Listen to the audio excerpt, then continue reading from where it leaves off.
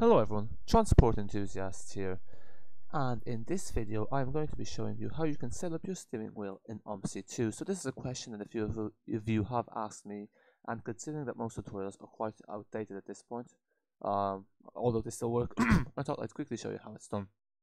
So what you want to do is you want to head over into your options like so and then you want to go into game controller.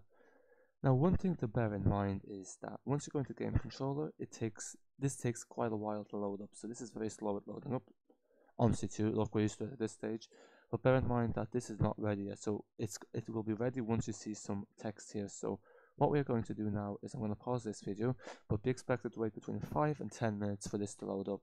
I think it takes about 5 minutes to load up, something like that. So once this is loaded up, I'll get back to you. But the key thing here is do not touch anything until, until this is loaded up, or else, as you all know, OMSI 2 will crash. It's quite sensitive. Okay, so be back with you once this is loaded up.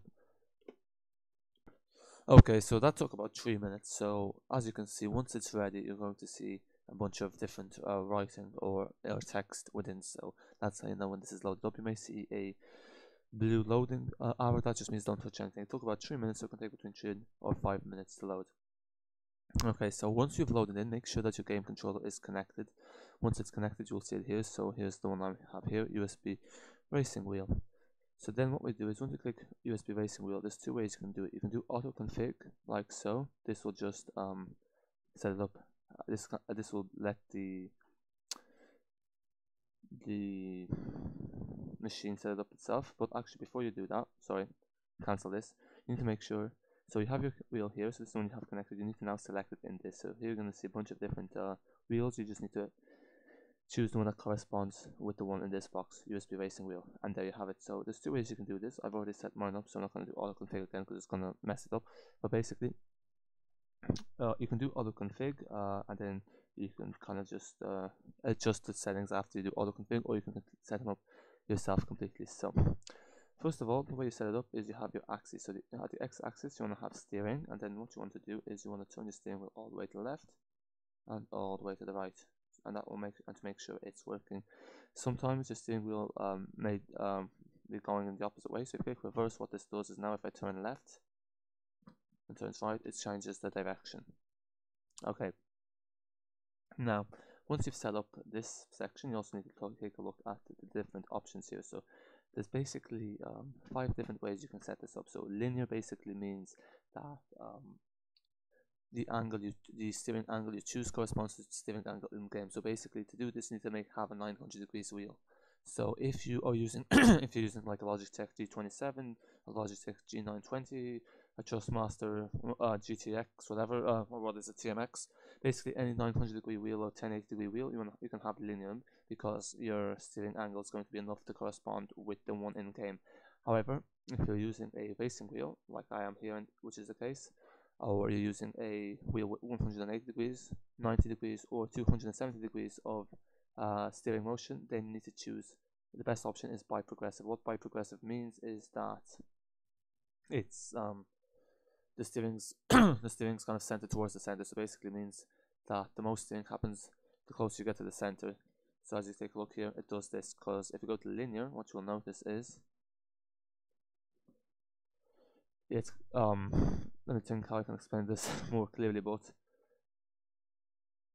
basically the basically biprogressive is the one you want to have if you have a 900 if you have a 180 or 270 or 90 degree wheel. It basically means that uh for every time you steer, it's going to steer five degrees because basically you have you have significantly less um you have significantly less uh leeway with your steering. So therefore, every every one degree in on your wheel is five degrees in game, something like that. So basically, just just choose biprogressive.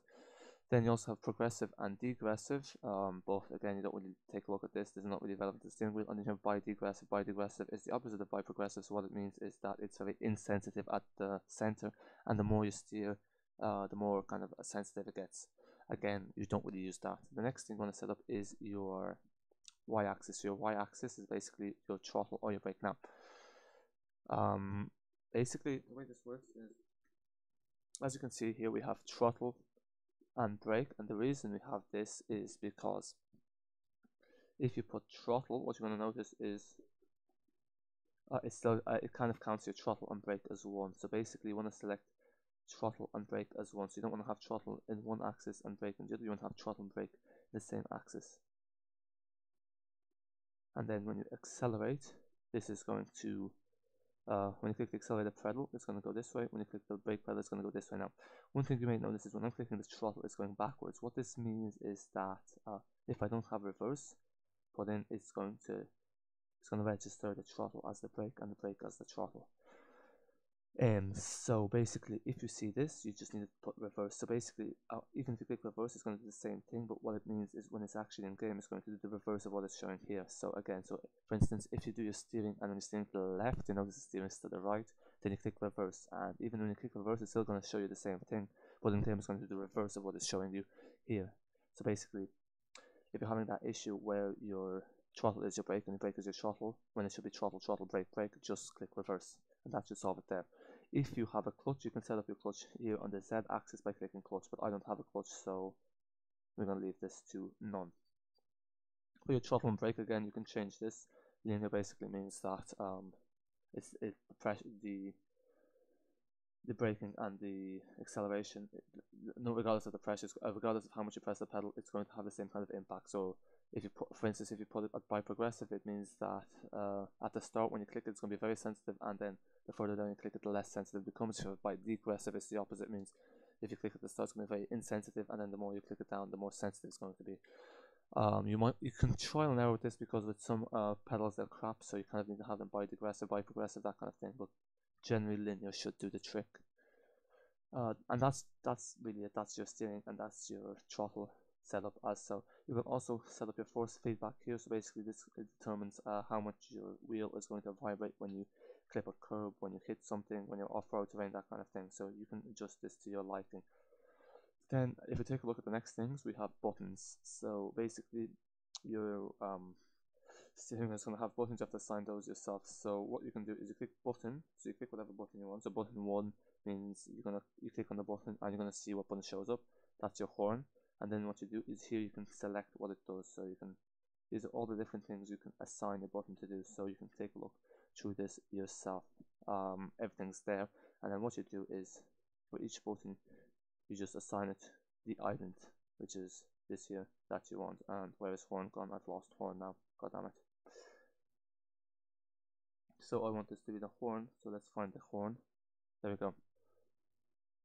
And it's basically as simple as that. Uh, generally, probably want to put a horn, handbrake, gears, shifters, that kind of thing and yeah that's fairly self-explanatory so I'll leave it at that and then once you've set up your wheel all you have to do is you just make sure everything's correct though I'm gonna give it a quick check. Yep and you're gonna check the buttons make sure everything's correct and you just click OK and now your wheel's ready to go. One thing to bear in mind is that um, in order for the wheel to actually be active in OMSI 2 once you load them load in your game you click K. So K means you're the wheel and then to switch back to the keyboard you click K again. So basically if when you load into OMSI 2 and the wheel's plugged in, you notice that the wheel's not uh, reacting, that's because you need to click K for it to react. I hope you found this video helpful. If you did, give it a thumbs up. Make sure to subscribe for more OMSI 2 tutorials and content. And if you have any further questions, comment down below, or you can join the Discord server where we have a help section, that kind of thing. That's it for now. Until next time.